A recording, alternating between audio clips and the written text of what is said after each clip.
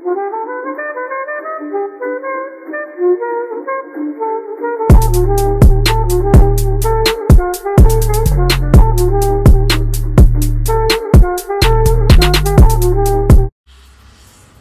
NBA is back. The campus at Disney is the site. The LA Clippers taking on the Orlando Magic in some scrimmage action. And there's Paul George, and we show you him because he started out hot, looking a little head fake, then an up and under move to the basket for the bucket. Then George stopping on a dime, pulling up and drilling the triple. This ties the game at 14 early on. Aaron Gordon looking good in this one, spins his way to the hoop for a layup.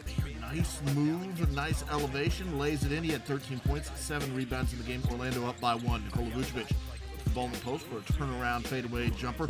A double double for Vucevic. 18 points, 10 rebounds. Clippers up by six later in the second. Time winding down. Paul George dribbles up the court, pulls up, and yeah, that's cash.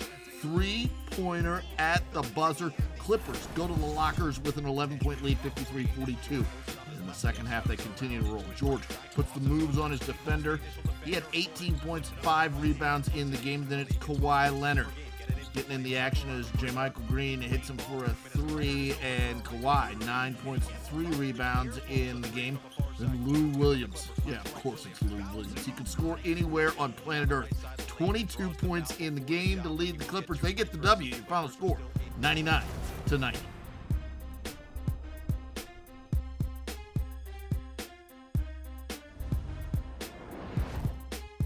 on the beat.